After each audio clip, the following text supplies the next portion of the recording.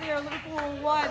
There we go. Going into the international break, top of the table, number one. No one expected this going into October.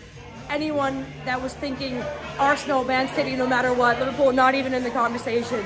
There we go. Liverpool is there.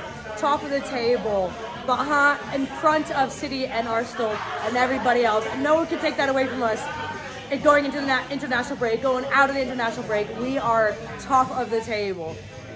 The first minute, again, really bad starting. We just seem to be going really slow in the first couple of minutes. They get a goal, but it was ruled offside, rightly, rightly so.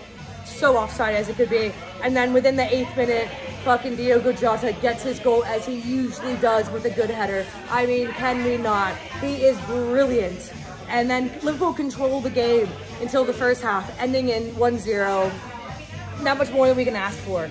Control dominated, there we go. Going to the second half, wasn't as exciting. So made some changes. Robinson uh, cost us uh, McAllister for Szoboszlai. We're not really sure why. Maybe a yellow card, maybe injury. We're not sure.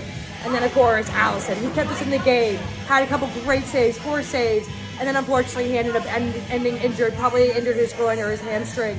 Didn't look good. He had to get help going out, but we brought in Jaros. Not sure where Kelleher was today. That's kind of sad, but you know what?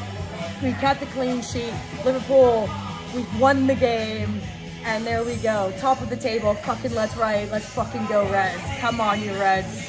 I said that Jota had a header, but it was not a header, obviously. It was a nice little ball through ball in the middle with the scored with his foot for once, but there you go.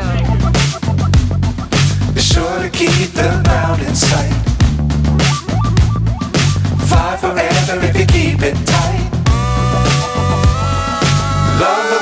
keep the sky on your mind.